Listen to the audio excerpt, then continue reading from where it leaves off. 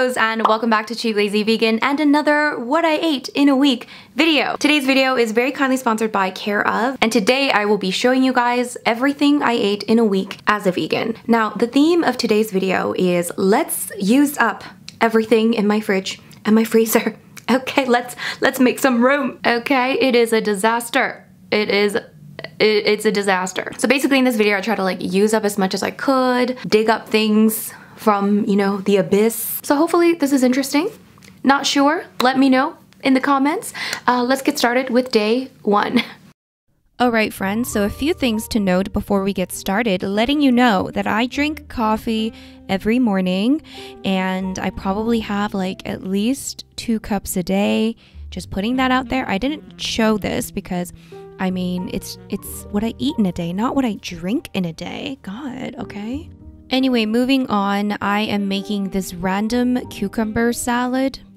And I had maybe a tablespoon of this zesty Italian dressing left over in that bottle, which I've had in my fridge for probably a year. Who knows what is in that dressing?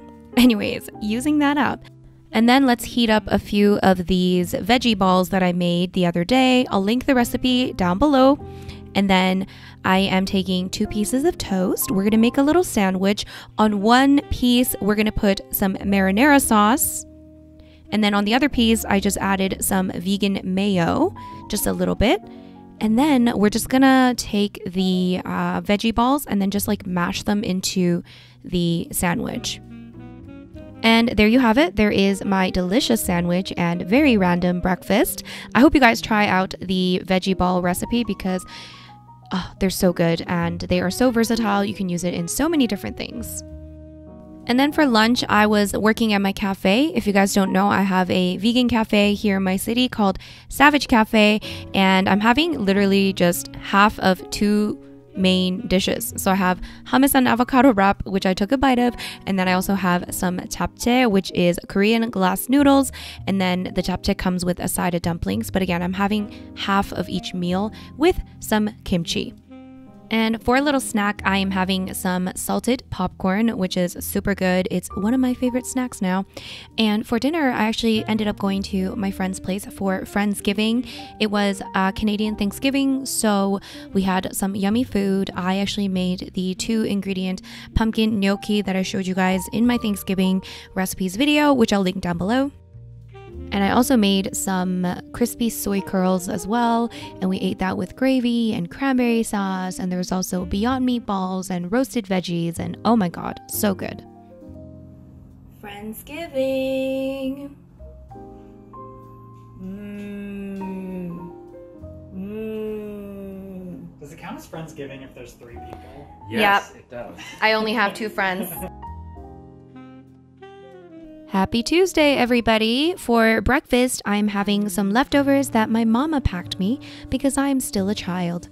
Now, a few days earlier to this, I had my birthday dinner at my parents' house, so there was some leftover food.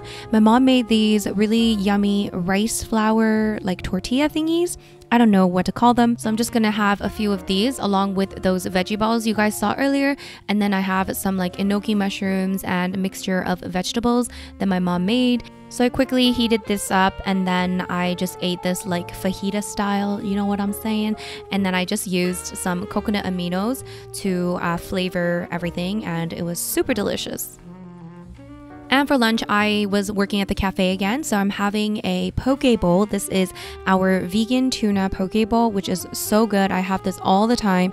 Uh, the vegan tuna is made of tomato, and then I also added some seaweed salad on top, and it comes with tofu. There's brown rice underneath, that's brown sushi rice, and there's tons of veggies. It's also topped with vegan sriracha mayo, and it is mm, so delicious.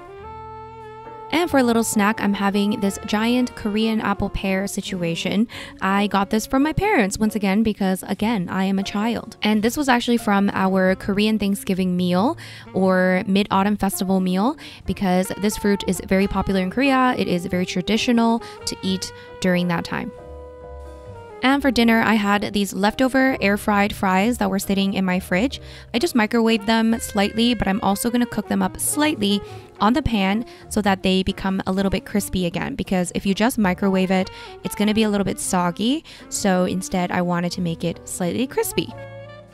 And using the same pan, I added a little bit of oil and we are going to cook up some soaked soy curls. So I had soy curls left over from the night before, I believe. So I'm just going to cook them up. I like to let it brown just a little bit.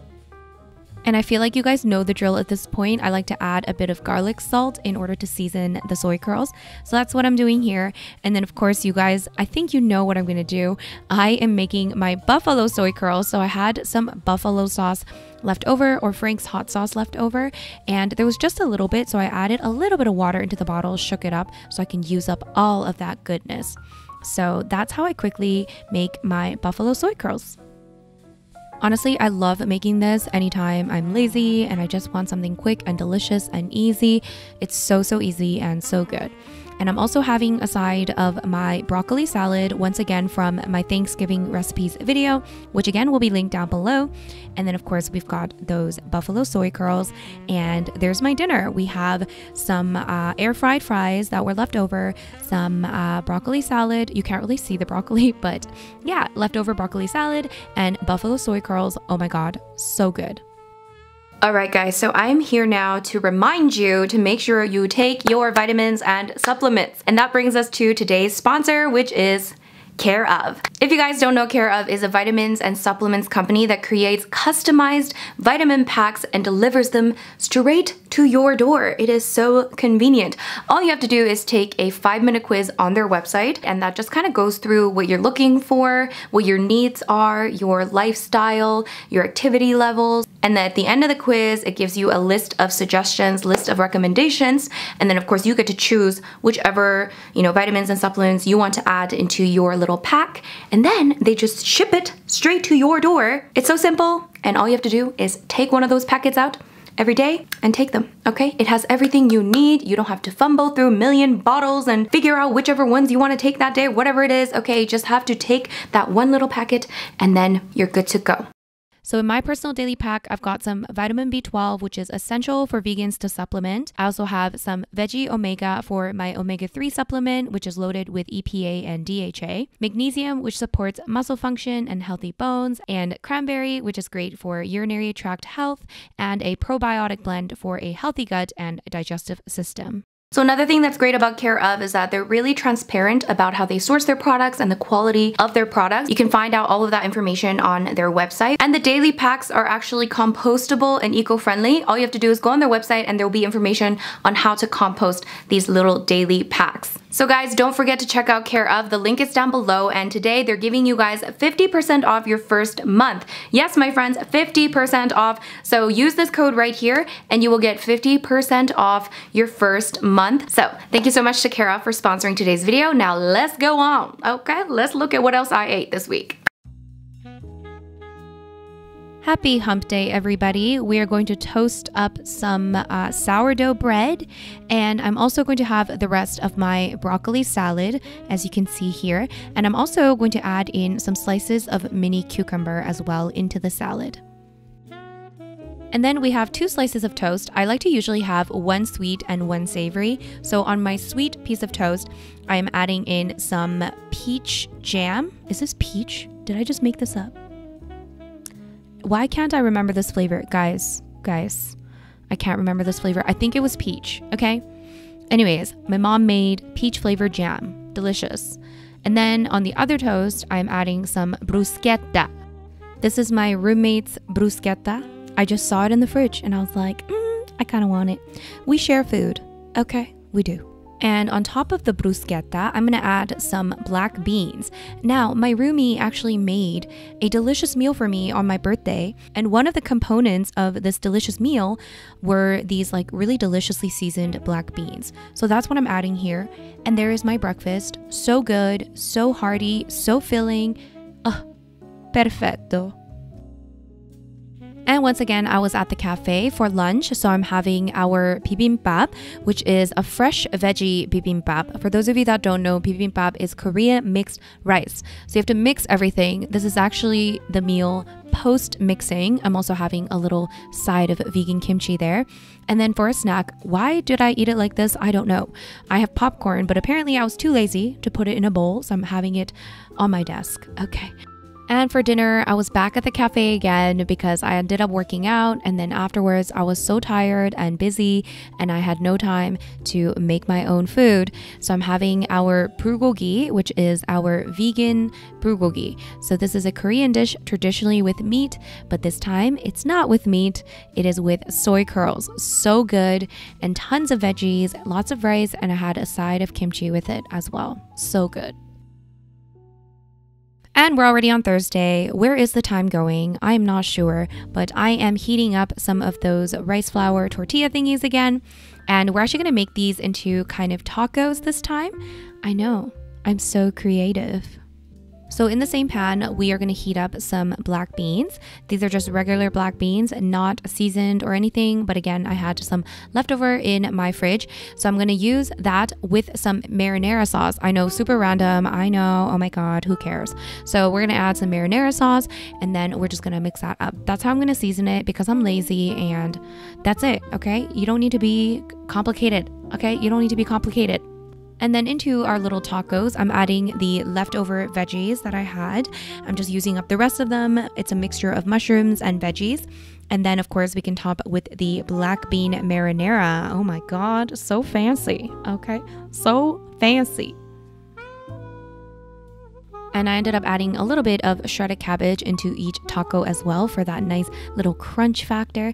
And there you have it. Super random, super delicious, and yeah, that's it. Okay. And hello, it is lunchtime. We are making some instant vermicelli. So I got some water on the kettle, and then I'm also going to chop up some broccoli. And I'm going to add some of that broccoli into the same bowl as the noodles. And then we can actually pour the hot water into that bowl in order to start the cooking process. I know, I'm a genius. You are welcome. So basically, you just want to soak everything in hot water and then you want to cover up the bowl so that it really steams and kind of cooks while you can do other things. Okay. So again, I'm having some leftover soy curls and I also had some leftover black beans. So I'm just going to cook that up on the pan here. And then after like two or three minutes or so, you can drain the noodles and broccoli and then just throw it into the pan as well. And normally I would make the sauce separately in a small bowl, but I got kind of lazy and this actually worked out totally fine. So first I'm going to add in one tablespoon of rice vinegar, one tablespoon of soy sauce or tamari, and I'm also going to add in maybe about half a tablespoon of coconut aminos, and then two tablespoons of powdered peanut butter or PB2, and then just a little splash of water, and then let's mix that well. And of course, I love a little kick, so I'm adding in some sriracha in there as well. And that's how easy it is to make some delicious noodles. So simple, so quick, and it's full of protein as well from the black beans and soy curls. And of course, we've got the veggies from the lots of broccoli I used. And then I'm also going to add in a little bit of the shredded cabbage on the side. And I'm also going to top with some green onions as always. And of course, let's add in even more sriracha. And there you have it. There is my super delicious lunch.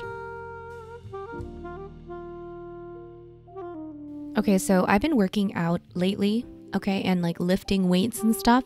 So I have been so hungry. So I'm having tons of snacks on this day. I have here an apple, delicious, great snack.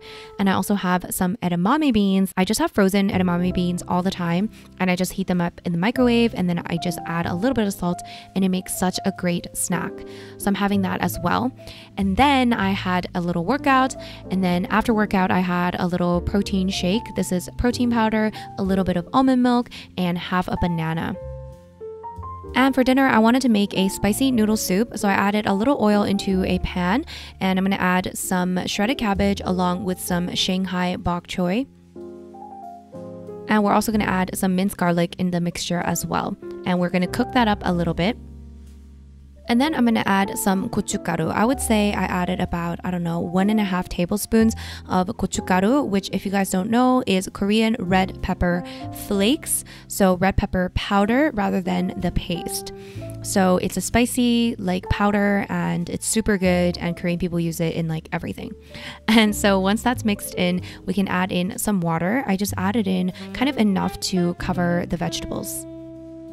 And we're gonna bring this mixture to a nice boil. I'm gonna add in some black pepper. I'm also gonna add in a quarter cube of a veggie stock cube. Yes, a quarter of a block of a veggie stock cube. Am I saying this right?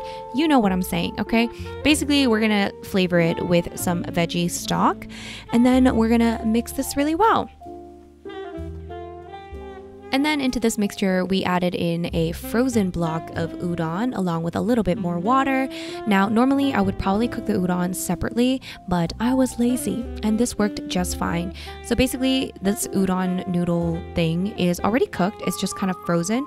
So you pretty much just have to reheat it. So that's what I'm doing here.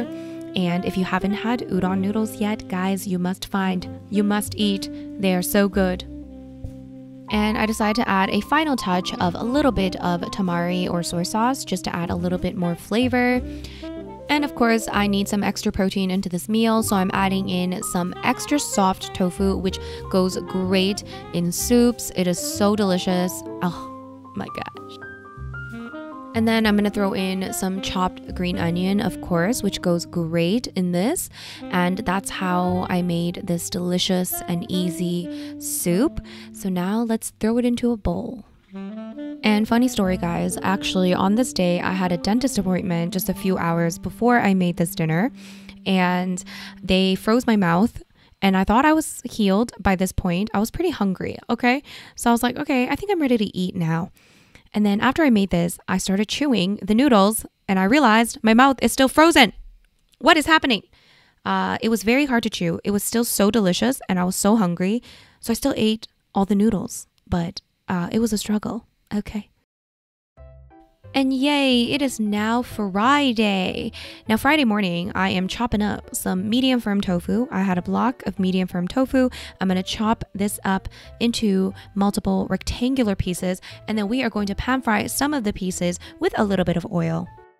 And I decided to work up the courage to finally try some of this natto. Sorry if I'm saying this wrong, it's a Japanese thing, okay? So I bought this in the Korean supermarket, aka H Mart. If you guys want to watch my haul, it is linked down below. And I mentioned that I had tried natto before and I didn't like it, but I really want to like it because it's supposed to be really good for you. So I'm trying it again, my friends. I'm trying it again. It is a very strange fermented soybean dish and it is really weird. Like, look at this consistency. It is so weird. It like stretches, it's like gooey. I don't know.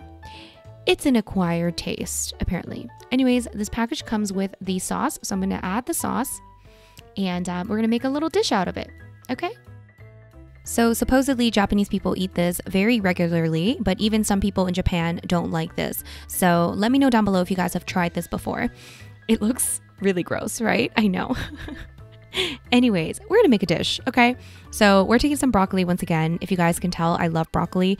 I'm also gonna add some of that hot water to cook up the broccoli. This is my favorite way to cook up broccoli because it's lazy and it's easy. And this is how I'm going to enjoy my natto. I have some brown rice, and then on top of the brown rice, I'm gonna add the natto. I think this is a common way that people in Japan eat natto, but I could be wrong. And then you wanna top with some green onion. Now, I think people eat it just like that, but I wanted to add a little bit more. So I'm adding my pan fried tofu on the side here, which I've seasoned with some salt.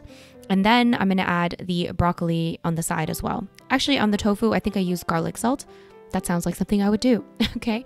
And there's my dish. Um, it looks beautiful, does it not? I know. And full of protein, full of some healthy um, probiotic things from the natto. And I tried this and Basically, I had to add some uh, kimchi on the side as well as add in some coconut aminos. Now, it wasn't the worst. I think uh, I could definitely eat it still, but it wasn't the best. It's very slimy and very strange, and um, I think I still need a lot more acquiring to do. And for lunch, I'm actually having another meal from my cafe. I'm having some Korean curry on rice. So, this is just a very mild form of curry. It's basically the same as Japanese curry as well. There's potatoes, there's carrots, there's chickpeas, and we also have some green peas, some onions in there. And of course, I have some rice, and we top things with nori. And this is so delicious. And once again, let's have some popcorn as a snack. I'm having some of that simply salted popcorn, super delicious. And then I have this random snack, which was basically a little bit of rice. I had some leftover soup from the night before, and then I had one little piece of inari sushi with some seaweed salad. And then my friend Daniel and I went out for dinner. Yum! Dinner time! Yum! Let me squeeze some lime. Look at my date. Say hi. Hey guys. What did you get? Gnocchi Gnocchi, yeah. with vegan cheese. Yep. And I got some noodle thing. I'm gonna eat some of those noodles. Mhm. And of course, we've got our wine. Cheers. Cheers. Woo! It'd be date night. Dessert time. What is this? Weird. Oh my god. Ooh. Um, that? I have no idea what I ordered. It was chocolate. Ooh, chocolate. Somewhere is chocolate. So that was our Friday. And on Saturday, I actually made some breakfast for myself and my roommate and Daniel. And I made some delicious scrambled tofu using my scrambled tofu seasoning. I'll link the recipe down below. We topped that with some vegan cheese. I also have some asparagus along with some veggie hot dogs. And we also have some toast with vegan butter and some air fried potatoes. Oh my God, doesn't that look so delicious? And for lunch, I had some inari sushi with toppings. This is like my favorite new thing now. And for the toppings, I made some tofu salad, which I topped with sriracha and a little bit of green onions. And then I topped the other pieces with seaweed salad. And if you guys want the recipe on how to make these and also some more topping ideas, I'll link my video down below. And for the cucumbers, I'm gonna dip them in ssamjang, which is a Korean dipping sauce, which is so delicious. You can buy it in a Korean supermarket or you can make your own. And I do have a recipe for that as well, linked down below. And for dinner, I decided to make an instant meal. I'm just having these buckwheat noodles, these spicy buckwheat noodles that comes with like the sauce and everything. And all you have to do is just like cook up the noodles and then mix in the sauce. So that's what I'm eating here. I did add edamame beans with it because I wanted some protein. And yeah, it comes with all these like random sauces. So you just add it in and then you mix it really well. And it's super delicious. I decided to eat mine with a little side of danmuji, which is pickled radish, which goes really great with these types of noodles. And for dessert, I toasted up some sourdough bread and I spread some vegan chocolate hazelnut spread on top, and this was super delicious. And guys, we are on the final day. For breakfast on this day, I was craving noodles. Who's surprised? No one's surprised. I had these noodles that once again I got from H Mart, and these are really delicious Korean style noodles, and they're super soft and so good. And I basically decided to make the same type of soup that I made the other day, the spicy soup, and I had it with just a different type of noodle.